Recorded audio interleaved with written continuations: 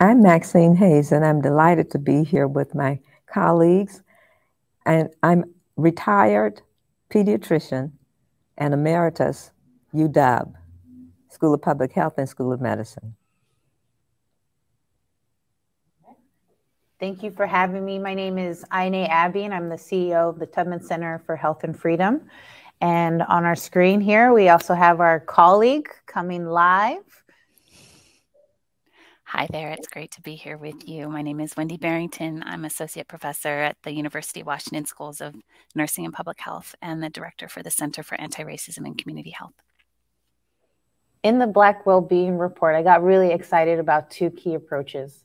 The first one around community initiated and operated systems. That's really important. Um, that's why we founded the Tubman Center for Health and Freedom. Um, things that keep us well is community and it's each other. And a lot of us, we've been working in healthcare institutions, public health, um, but we actually haven't had an institution that is owned, operated, and driven by us. What really excites me about this report is the approach we've tried everything and things aren't getting better, mm-hmm. especially for uh, segments of our population. Mm-hmm. And so I think the mere fact that um, going to the community and asking them and recognizing respectfully the assets right. that they can bring. In fact, they have the answers to a lot of the problems we're trying to solve. Exactly. And so it was like a, um, a, a, breath of fresh air of energy uh, to see um, this evolve.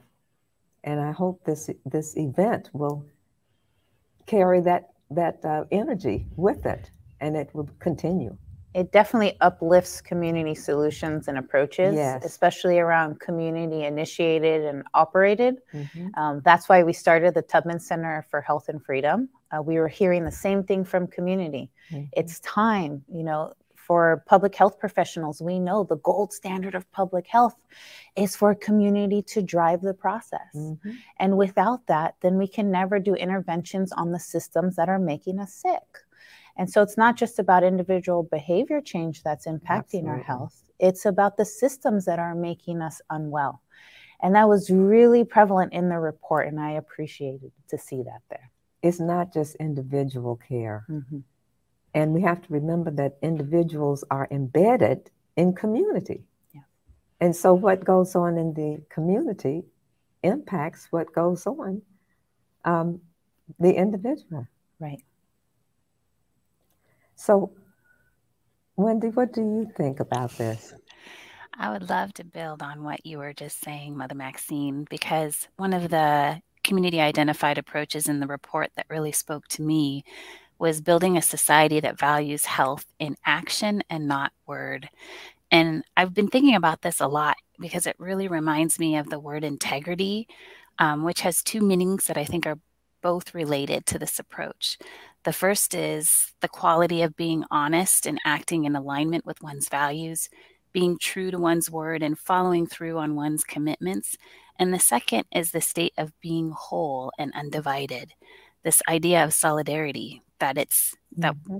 in order for us to move forward, we need to, to have integrity as a people, as a society you know, mm-hmm. our North Star is equity and our actions need to be in service to that goal. So I really also really resonate with bringing this up a level. We can't be having this um, at the individual level. It needs to be at the community level, at the population level, you know, at the mm-hmm. systems level to make sure that we're creating environments that are supporting individuals to be able to mm-hmm. thrive and specifically um, Black individuals in this country.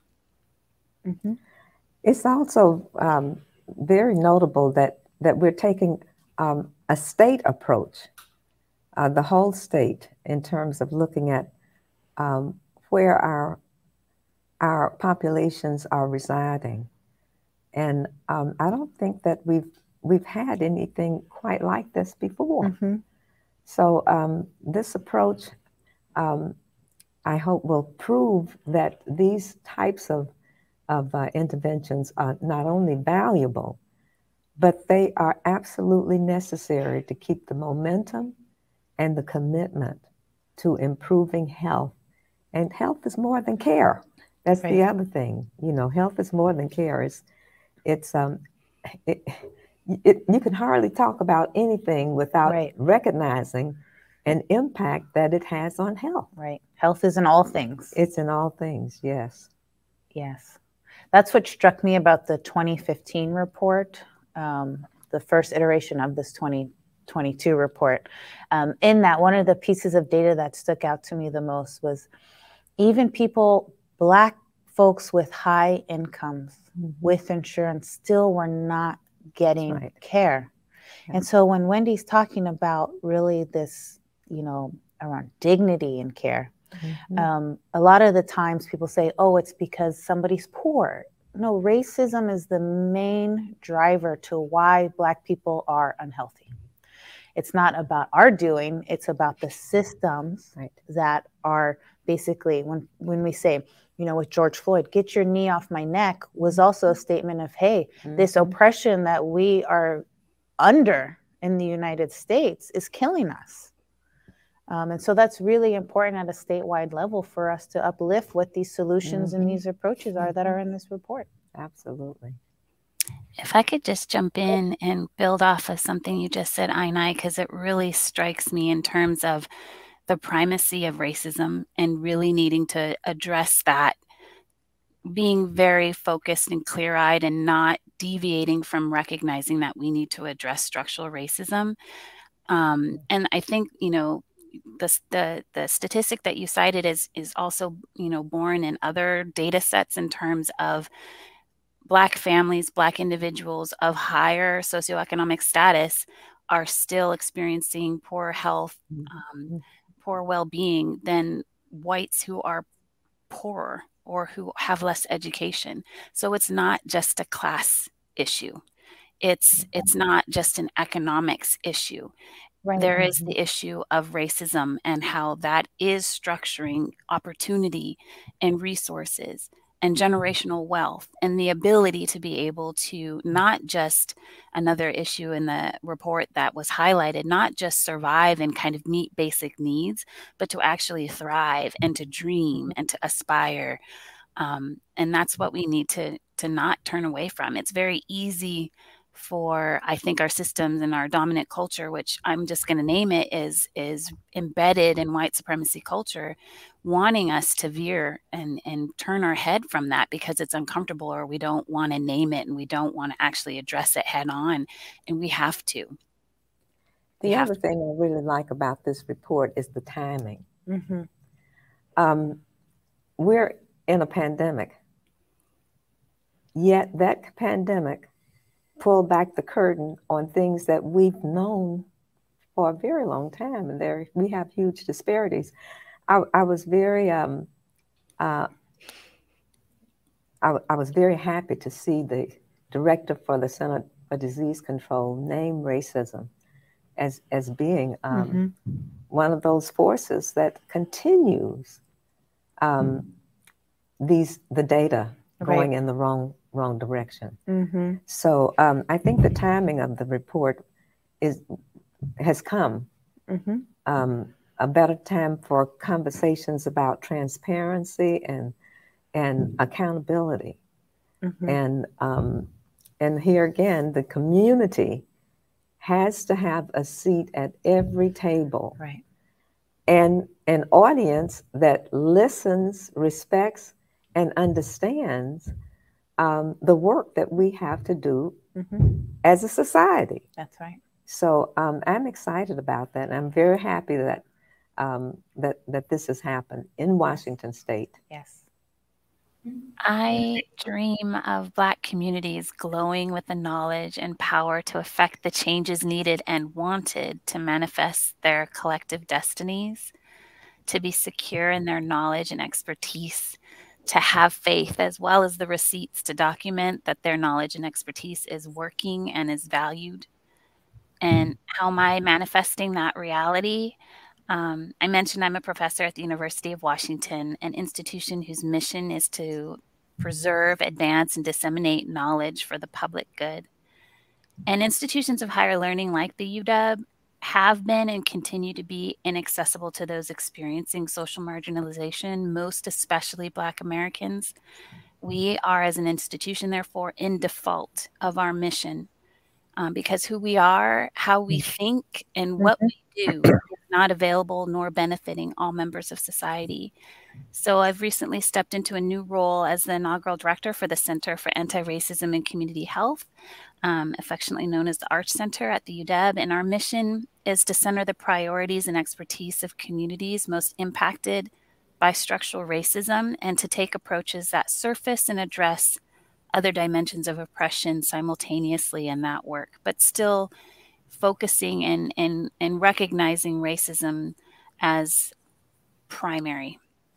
Um, it's kind of a mind boggling approach, but it's also a very simple one at the same time, just by doing one thing. And that's really building a critical mass of faculty, staff, students, and community partners who are from the Black community, who are from Indigenous communities, um, and working with them to identify priorities and approaches and resourcing those efforts.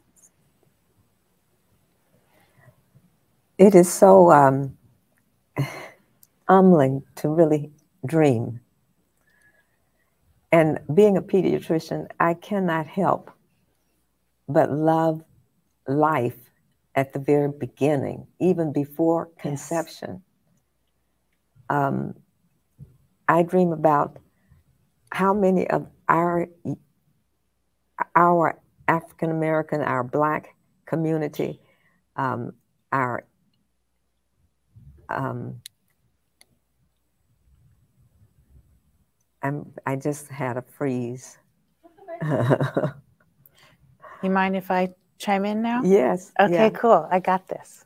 Okay. Um, I appreciate what you were saying. You know, for us, dreaming is so important. And a lot of the times, our futures get determined for mm-hmm. us. Mm-hmm. And, you know, even on my way here, I talked to my mom, and my mom's like, You got this. And I'm like, Yeah, I got this. You know, my mom told me I got this. And it's true, no one mm-hmm. loves us like our family right. loves us. And no one holds us in the dignity like our family holds us in our dignity. And as a community, that is when we meet each other, when we share with each other, mm-hmm. we wish and hope for that within our health institutions. Um, I shared a story that I was in urgent care a couple of months back, and I was the um, one of the only black people in there, and no one who was working there was black. But I could hear someone next door to me. Um, I think she, um, she was the janitor there, um, and I could tell by her voice that she was my people. Oh.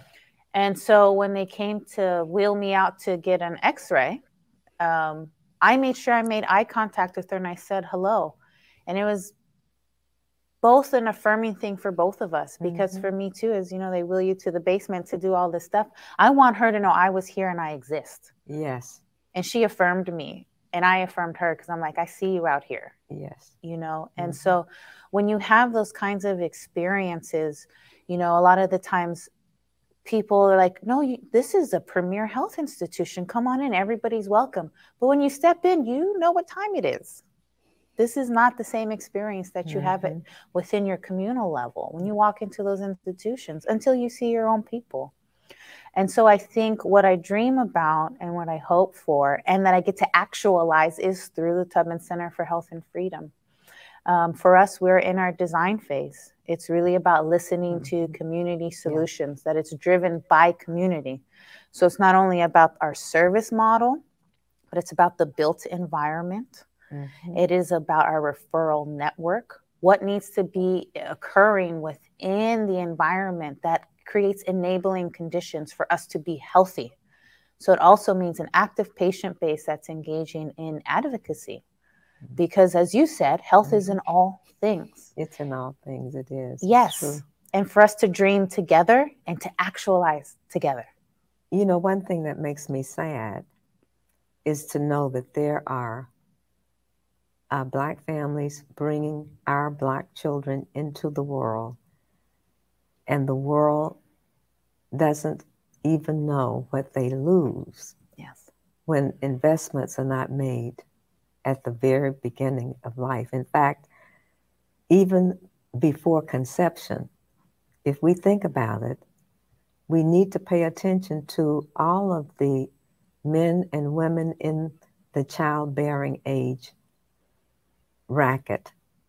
Yeah. That that that that that area of the of of the continuum of health. And it is so important to give every child the same type of opportunity mm-hmm. um, that others take for granted. Yes. So that, and, and you so beautifully stated, the first community those children have is the family. Mm-hmm. And so um, recognizing that policies that support families mm-hmm. support children. Mm-hmm. A lot of people talk about mm-hmm. what they want to do for kids, but they can't really see that unless the family and the community in which that child right. develops has um, the support and the attention that is needed for health. Mm-hmm. If I can build on this, because I it's reminding me of something I was just reading in terms of our conceptualization of what family is, mm-hmm. what the dominant narrative in terms of what family should look like and how it should function, and how it really has brought us away from these extended familial networks or yeah. kinships, and how mm-hmm. family mm-hmm. is really has always been more expansive um, and and that is a good thing and that is something that we have cherished and value i really appreciate what you were saying i Ine, in terms of um, recognizing people you know in your context mm-hmm. recognizing mm-hmm. your people and and being affirmed and mm-hmm. and being acknowledged and and having your existence be known um you know that to me is family as well mm-hmm. um that that mm-hmm unspoken solidarity that that meeting of the eye and nodding of the head and just being able to continue on your day knowing like someone sees you. Yes. And one of the things that we've missed so much in in care is empathy. Mm-hmm. our our providers don't have it. Mm-hmm. and that should bother us. That should bother us. We're having to teach how to be empathetic. Mm-hmm. Mm-hmm. And the first lessons learned um, uh, is going to, you know, it's going to help everybody. Um, but we've got to want to value that. Mm-hmm. Um, and and as as was so beautifully uh, stated, uh, the first reflection that we have are our families. Mm-hmm.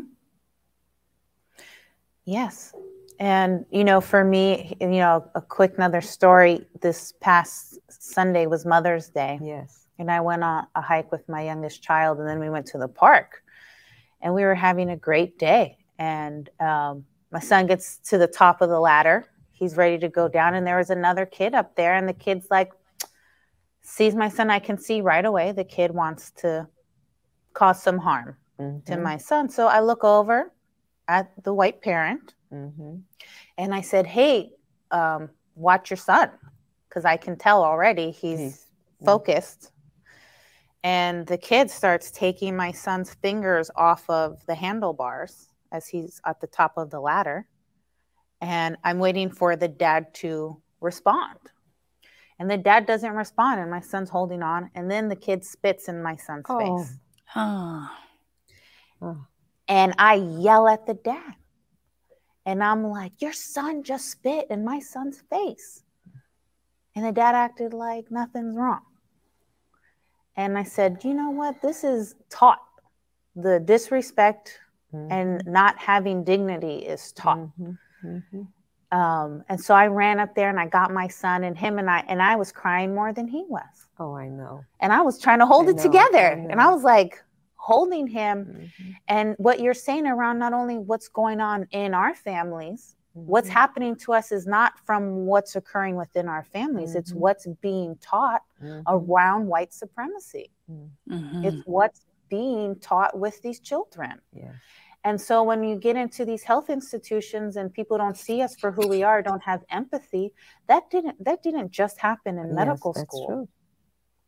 that's happened along the way when you look at displacement, oh, you know, you can't live with black people. You know, we have hyper segregated neighborhoods. Oh, yes. You know, and so it's it's all of these things again the compounding of racism mm-hmm. impacts our health at every level. Where you live, your zip code. Your zip code. Why my own neighbor at my own local park, one mm-hmm. block away from my house, has no dignity for my child? That is impacting my health.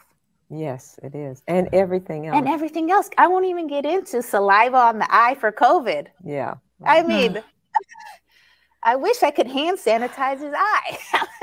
I was trying everything, but really the thing that hurt the most and that yes. still hurts yes. is my heart. Yes. We want to be seen as human beings. Yes. Humanity to humanity. And that's what has been lost. Yes. And and we have to come back to that as a community. And that's why the community is so important in these processes. I'm just really pleased to see uh, civic engagement and uh, community organizations organizing community organizing yes. these That's right. these these are these are methods by which um, yes. I think that we can really try to get exactly. Community organizing is how yes. we get to health exactly justice. exactly. Mm-hmm. community organizing is how we get there. Yes. I think it's amazing that a lot of the themes that were identified in the well-being survey are so like you said interconnected. All of yeah. it relates to health. You know i think it can be easy to be disillusioned and not want to participate not want to mm-hmm. engage civically but that's how we gain power that's how we cha- make the changes that need to happen in order for us to thrive mm-hmm. and you know i think it doesn't mm-hmm. necessarily have to look like what's expected or um, follow the rules, so to speak, because I think there's yeah. a lot to be said for activism and for coloring mm-hmm. outside the lines, if you will. And a lot of times, the the the constraints, the boundaries that exist, were put there um, by people who are not us um, to serve their own ends, and also sometimes those boundaries are not necessary. They're not yeah, even needed. They're just right. thought that they need to be there and they really aren't. And so yeah. we can we can move beyond that. But we, yeah. we can't do that without engagement and um, engagement um, you know, and and and and without a commitment of the whole community. Yes. Mm-hmm. Um, and it means that if we all did our share um, in terms of improving each other's environments um, then the whole community thrives and and really um, they they get get get something out of that. Yes, it's it's it's we're we actually have to find ways to do that more effectively, but even more to be very respectful of what the community can bring, That's which right. we have left out of the majority of our decisions. Right. In terms of you know who gets care, who earns the right to have care and what kind of care it is. I'm happy to see well being being um, out there as well. Yes. Um, because it's been 50 years since I studied medicine and and the, and that, that language was, was just not even around. But now more and more we're recognizing that that there is something to this that mm-hmm. we have have missed. Mm-hmm. And um, the well-being piece is who gets to define well-being i certainly mm-hmm. hope it's the community and right. not someone else trying to define that for them because mm-hmm. the community knows and it starts with the family yeah.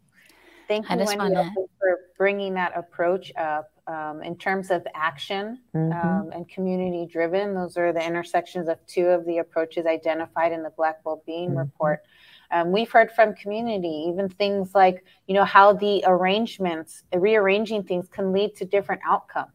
Right. I was talking with young people and they asked, why is there a security guard at the, at the front of every health institution? It's not to keep me safe. It's actually causing harm to me when I walk in. My anxiety's up. Mm-hmm. I don't feel comfortable walking in. You know, the security station sometimes bigger than the welcome station.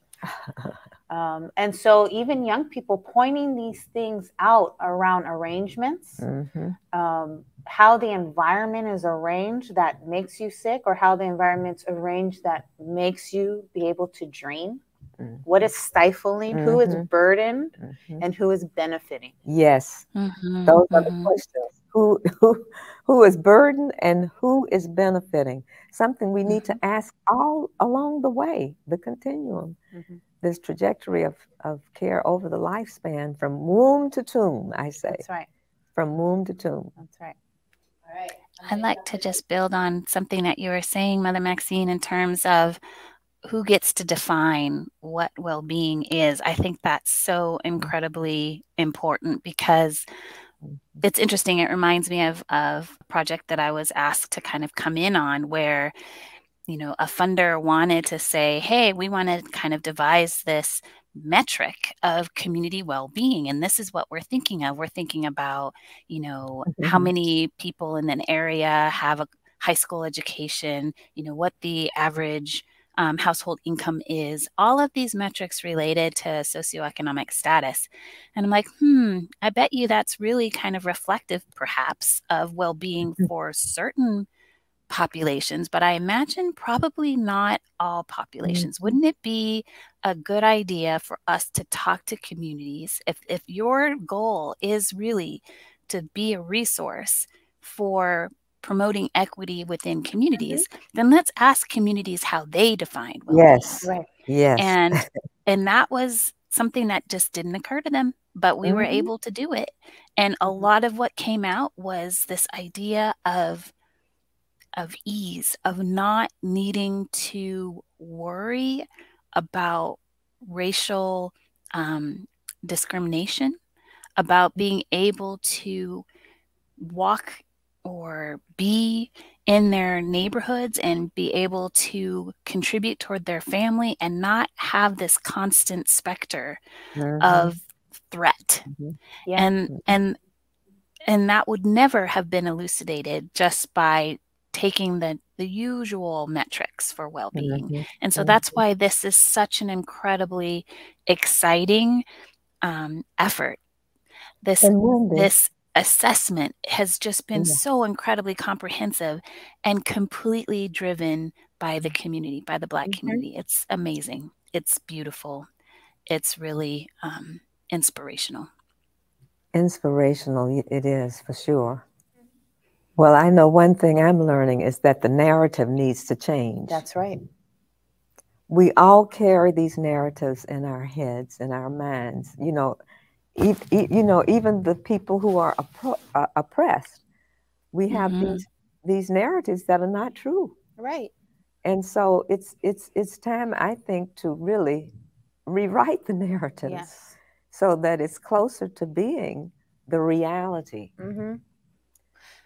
Um, and I guess some people are afraid to go there, but but until we do, we're we're not going to have health equity. Right. Racism makes us all sick. Yes, it makes us all sick. It does. And um, and and I think Wendy, um, you know, alluded to that as well. Um, the the narratives have got to be rewritten, and they've got to consider everything the community says about what it perceives. Mm-hmm. Mm-hmm. And um, and then we go from there, mm-hmm. not the other way. That's right. Wendy? I would say a key area of growth for me has really occurred over the last two years. Um, it's really been a crystallization in my understanding of white supremacy culture and how it manifests not only in systems but even within myself and i think this kind of um, ties directly to what you were saying maxine in terms of the narratives um, that we hold so close um, you know just realizing that we are all socialized in this country to be yes. pro-white how critical it was to my well-being when i was growing up to assimilate how i never could how I flatly reject this assimilation now, but also recognize that it's an insidious learned tendency yeah. and a cancer that I constantly have to check myself for, that we all need to check ourselves for, because I think we are all you know, affected by racism in in, in different ways. Um, the other key growth area for me um, is to be explicitly anti-racist. You know, before I kind of was able to do the work without saying the word racism. Mm-hmm. Mm-hmm. And I think it's really important to name things. I mean, kind of going again back to what you were saying, Maxine, in terms of narrative. I mean, language is so incredibly important to be able to use words, um, to be able to kind of label processes or mechanisms for what they mm-hmm. are so that they can be changed, so they can't kind of slide and, and hide and kind of continue to be mm-hmm. under the radar that we're calling it out yeah. and we're we're examining and interrogating and, and dismantling it. Yeah. Um, yeah. Thank you, Wendy. That is um, for me, you know, personal growth, but also in how I ask questions. And mm-hmm. so one of my primary mm-hmm. questions I ask now is how do you operationalize anti-racism in your work? Because it's a question for all mm-hmm. of us. A lot of the times, mm-hmm. um, you know, we're told, oh, this is the anti-racism project over here or funding mm-hmm. over here. But we never ask the corollary. We never ask then what's the flip? If this, you know, $25 million is for anti-racism, well, what's the other six billion for? Racism? And so yeah. a lot of the time people distance mm-hmm. themselves mm-hmm. from it as mm-hmm. if they're not taking part in it. Mm-hmm. When it is in all things. Mm-hmm. Health is in all things, mm-hmm. and we're sick because of racism being in all things. And so if we can everyone sits down and say, Hey, how am I operationalizing anti-racism? It puts you in the action seat not as a bystander or a silent participant, mm-hmm um, mm-hmm. in it, mm-hmm. but what are the things that I'm doing to address these things within my purview? Excellent. Yes, I know you're so right. Um, and until we have whatever it takes for all of us to see that, and it's going to be hard for some to admit it because the first line of defense about a false narrative is denial. Yes. Mm-hmm. It's just not true and and so and that's why you know our community activism and organizing in the community has to take all of this into right. consideration yeah because we can't do this without everybody doing what they are supposed to do exactly mm-hmm. the accountability yeah. the transparency and not behind uh, hiding behind um, you know hypersensitivity mm-hmm. uh, as well what about the people who are on the other side of receiving that mm-hmm. um, when our when our people come into some of these systems they're not coming on a level playing field mm-hmm. we're coming with years mm-hmm. centuries mm-hmm. Of mistreatment and injustice mm-hmm and centuries of solutions. Yes, and centuries of solutions. And thank you for saying that. Yes, because you know we have to really um, keep yes keep our eyes on on what we know does right. work exactly. And the community it can be that eye. And that's what I love about the Black Wellbeing Report. Mm-hmm. Really uplifting mm-hmm. what these approaches mm-hmm. are, really uplifting what solutions look like in real time. Um, and mm-hmm. hearing that from statewide organizations, hearing that from local communities, and mm-hmm. that the themes cut across the board. Yes, they cut across the board, and many of them are um, are invisible to um, the majority because they don't know what it even looks like. Right. To mm-hmm. not have it. Mm-hmm.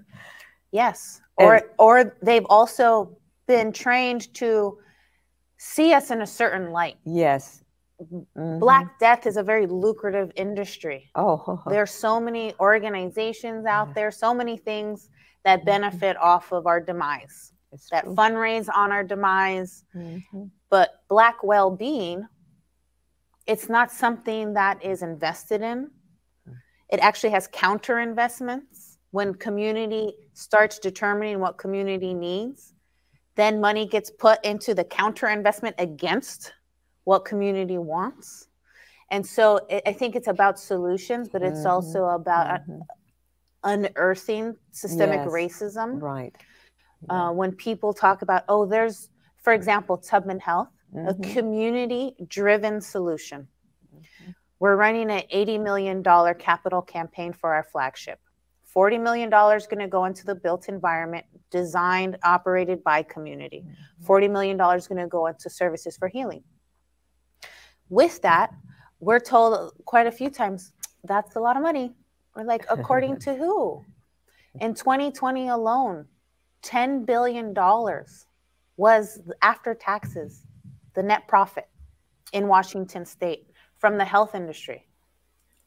So I'm looking at those numbers. Again, this question around okay, mm-hmm. well, if mm-hmm. this over here is the anti racism effort, well, what is the ten yes. billion dollar net profit that came actually from our communities because we're not doing well and then we're not getting the proper services. Mm-hmm. and then we can't actually invest in community driven solutions. It's it doesn't add up. it doesn't add up. It's a hypocrisy. Um, so the gold standard of public health practice mm-hmm. is community driven so when are we going to invest in the community driven solutions Designed by the community. Designed by the forward. community. Brought forward. Yes. Owned by community, operated by community, mm-hmm. for all people. Mm-hmm. For all people. And we know that when you address it, you raise the tide for all ships. Yes. We've been looking at that tide for a long time. Yes. I think part of what's needed is anti racist accountability, especially among our leadership. Um. You know, I was I'm reminded of Dr. Camara Jones and her mm-hmm. allegory about the gardener's tale yeah. and the different levels of racism and and at the end of the tale she's essentially says that the gardener the person who is allocating resources and and helping the flowers to grow that gardener needs to be aligned with equity there's just yeah. no other way this is going to work so how do we ensure that we have leaders who are aligned with equity and have the capacity to act, to be able to steward in a way that is anti racist? Kind of going back to what you were saying, AyeNay, in terms of what are the action? How can I be operating within my context in a way that is anti racist? Because I think also, you know, leadership comes at the family level, it comes mm-hmm. at the mm-hmm. community level, it comes mm-hmm. at the mm-hmm. school level. You know, it's not just our elected officials, it's all mm-hmm. of us. Mm-hmm. We're all leaders in some way, shape, or form. Um, but we also need to build a critical mass and put ourselves in those places of power so that we can begin to actualize an anti racist agenda. And just because you're black or a person of color doesn't mean that you're going to be an anti racist leader.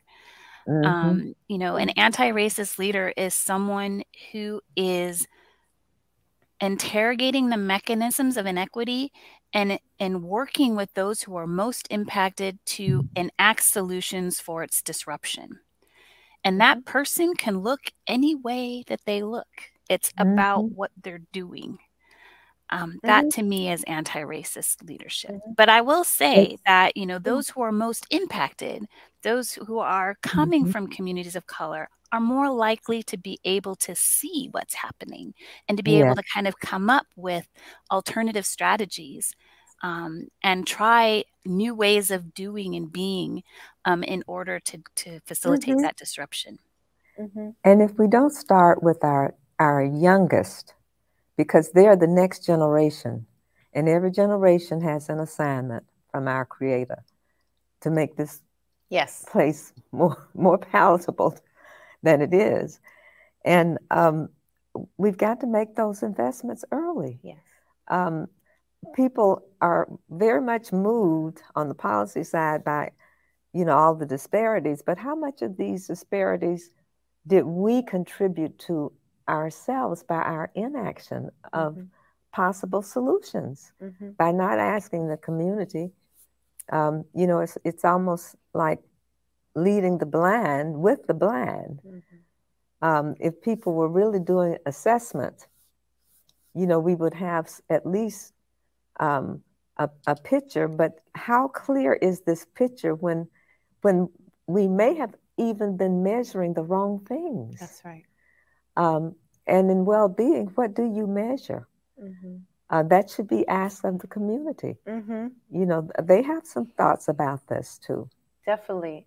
And Wendy, what you were sharing, um, I think is spot on. Anti-black racism is taught, um, and you don't you know have to be white or black to mm-hmm. be someone who has learned those things and who are enacting that's those right. things yeah that's true. Um, i think very much so when we were talking about our schooling our education our mm-hmm. systems mm-hmm. you know you were sharing a story just on assimilation um, i think that's exactly what it is uh, you walk into a room you know what time it is um, you know you know your surroundings and you know i have to fit in and so when white supremacy is uh, up held as the dominant culture. Anti Black racism is a thing that's taught to say, okay, mm-hmm. whatever I do, I don't want to be like them, and they are down there. And you know what? Even though I'm Black, I, I don't want to be like them. I'm going to keep assimilating. And we see that even within the workforce. Mm-hmm. Um, folks are climbing the ladder. Everyone says the ladder, the ladder. Okay, what? Well, what is the ladder? it's assimilation. Mm-hmm. It's not based mm-hmm. on skills. It's based on who you know, who likes you. Mm-hmm. Um, you know, mm-hmm. our economy, there is no space for everyone. And so this is why we utilize racism to keep people at Damn. the margins. Um, that's why college is not for everyone. We keep people at the margins. Mm-hmm. Um, and so, how do you get into these institutions? You assimilate. Um, and so, a lot of the times, you know, even this question around my personal growth, it's like, you know, the higher you get in education, you know, you get a master's degree in, in public administration and government and finance, you really learn about assimilation um, mm-hmm. and colonization. And colonization. And so part of my job now, as within my mm-hmm. leadership mm-hmm. as CEO, I have to ask myself, again, how am I operationalizing our mission for health and freedom? And it's not from the textbooks and it's not from all the mm-hmm. things that I I learned in school. Yes. It's actually the opposite. And that's a good thing. Yes. because we need we need what what we have been working with hasn't worked. Mm-hmm. Mm-hmm. It hasn't worked. Mm-hmm. Because a lot of times we were not really painting the picture that was really accurate. Mm-hmm. Um, and that's you know part of this narrative again. Mm-hmm. And um, so there are things that we really do need to need to start over. Yes. Um, and the missing piece, I think the richness of what has happened here is recognizing that the community is that living organic body mm-hmm. that um, um, that that we've got to tap into, and we have people who are willing to step forward mm-hmm. in in some of these that's right. these areas. We're on ancestral assignments yes on ancestral assignments. That's right. Exactly. Okay. the time has come. The time has come for the generations. And we're still here and many of our um, colleagues have passed on. But we're still here we're with still the mission. Mm-hmm. with the mission. And this is our assignment. And the, and the creator would not have given it to us if they didn't believe we had everything we needed to do it. That's right. You know, AyeNay, I really appreciate um, your sharing with us the mm-hmm. the new way that that mm-hmm. Tubman Center is being structured to be able to kind of move outside of you know our traditional hierarchies in terms of organizations and you know i feel like i'm i'm a kindred spirit with you in terms of that is really that is really mm-hmm. the the intent behind the Arch Center as well to be able to bring in communities in setting priorities and being able to make decisions about how resources are allocated what we're actually doing and and really having those solutions mm. be coming from communities who are most impacted. Mm-hmm. Um, we are also in our building phase. Our center officially launched during Black History Month of this year. And we're starting demonstration projects to actually test this model and refine our process. Mm-hmm. And this improvement process will always be a part of who we are and how we come to the work because we recognize that, you know, as a primarily white institution at the UW, that we need to do things differently. Um, Mother Maxine, you mentioned activism. You know, I think that is so critical and an essential part of public health practice that really is not fully unleashed. Mm-hmm. You know, mm-hmm. institutions mm-hmm. are hotbeds of white supremacy culture and they need to be cracked open and they need to be infused with activism. Um, there's a precedent here, of course, with the Black student unions and the activism of students, but that needs to be translated throughout the institution to include both mm-hmm. faculty and staff and actually bring community in um, mm-hmm. to be able to co create um, the knowledge and actually ensure that that knowledge is of benefit to those who are in most in need you know, we need to infuse our institutions with the knowledge and expertise of the communities we serve, not in an extractive way, but in a transformational way to be mm. able to include communities because if if if we're here to serve the public good we need to include the public in that work mm-hmm. to keep mm-hmm. us innovating to keep us relevant to keep us mission focused and to hold us accountable um, you know, how do we partner in that work for the Black community? There might be a few ways that we can work together to actualize Black well being. First, if you're interested in attending the UW as a student or partnering with the Arch Center as a community member or organization, please reach out to me.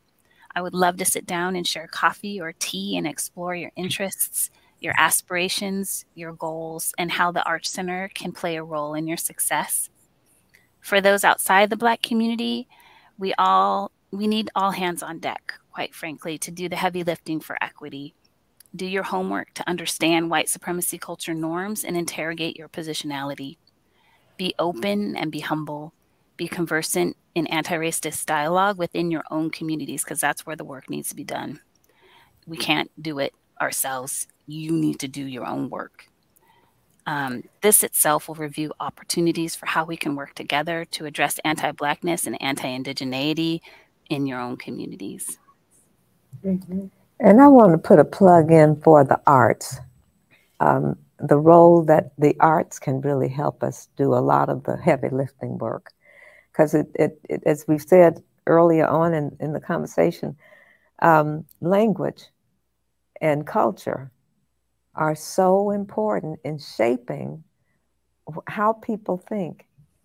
How, you know, and so this has got to be and we know we don't have we don't have have the the um, the power um, in a lot of these um, areas, but the potential for developing that through community organizing and civic engagement is is is there, mm-hmm. and it can it can be very threatening, but at the same time, uh, we need to bring everybody mm-hmm.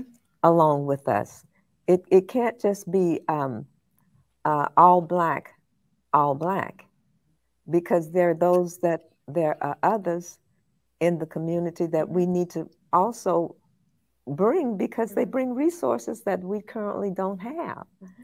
And so, um, but they need to be truly transformed mm-hmm. and mm-hmm. true to the work of, of uh, building something that the whole community can say we did this because we wanted to be healthy and mm-hmm. also have well-being. Mm-hmm. I mean something that that that that that can be valued over time. Mm-hmm. But I, I think the timing is really right. is right. It's mm-hmm. the timing, and the and the reason I go, go back to the arts is that some of the conversations we're going to have to have, and they they've got to be not sugar coated. They've got to be the you know as as real as they can be. Um, and we may need other modes of communicating that, like the arts. Mm-hmm. Um, it can be the lyrics. Um, it can be the plays. It can be the operas. You know, I saw um, Blue, mm. the opera Blue. Mm-hmm. As, um, and it, it, it, it took a, a very polarizing topic to really peer into the real lives of real people um, having been impacted by um, uh, the police.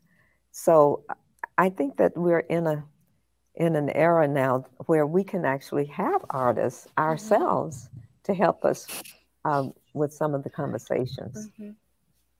Yeah. You know, whether it's poetry or music or dance, um, many forms, many art forms. Yeah. But I don't want to. I, I, I'm, I'm trying to paint a picture of all the types of leaders we have in our community that can bring to this work. That's right. Um, and sometimes it, it begins with language and, and trying to communicate. Mm-hmm. And there are certain languages that are universal, and music is one of them, mm-hmm. you know. Um, um, and I think Oprah has de- demonstrated with her documentary um, that is coming out um, on the color of care. And then um, we, we have uh, other examples of the of, of, of, of, of the African American and Black women increased mortality rate from mm-hmm. just childbirth. Mm-hmm. Uh, so um, there's a documentary on that. Mm-hmm. Um, so I'm, I'm very, very encouraged that yeah. we can integrate some of those things to get us to really not only yeah. uh, act and feel, but act and really see. I really like that point. Um, I think it's important to acknowledge everything that I do is in partnership. Um, mm-hmm. Um, it does take a village, and that's the way also organizationally. Um, organizations and institutions and individuals and communities, mm. that is how we operate in our society. The question is, what is the thing that we're operating around? And so, if we're operating around anti racism, that's where most of my partnerships come with. Um, one of our first key partnerships was with Rainier Valley Leadership Academy, the only mm. anti-racist charter school in this state. Mm. Um, another one of our partnerships was with the Black Community Impact Alliance. It's to it's statewide and it's to support all Washingtonians, especially Black Washingtonians, around economic justice, around health justice, to mm. address mm. these root causes. Um, but it's really again, who is, mm-hmm. what what are we what are partnerships centered around? Right. That's and so for point. us, one of our um, guiding principles is to reject white supremacy in all of its forms, mm-hmm. and that has limited the amount of partnerships we can have because again if if organizations and people haven't done this self-reflecting yeah, or don't act or behave in that way mm-hmm. then it becomes hard to partner um, mm-hmm. because again, that is a counter investment or a counter strategy against community solutions. So for us, it's we're really clear. It's we're supporting um, structures around community solutions, um, mm-hmm. and it mm-hmm. comes from community, and it takes a village. And That's so we call that test. exactly. And we call that the Black Health ecosystem. Um, it's going to take all of mm-hmm. us you know it is about all these organizations it's it's about people who are providing housing mm-hmm. it's about people who are you know working in direct services mm-hmm. um, and that the issue is not just um, you're my client the issue is that i believe in your dignity i yes. believe in your self-determination yes, i believe in the things that you're telling me that are most beneficial for you mm-hmm. um, and mm-hmm. that is not about um, mm-hmm. the race of the actual person. Mm-hmm. That is, have you centered white supremacy or have you centered anti racism?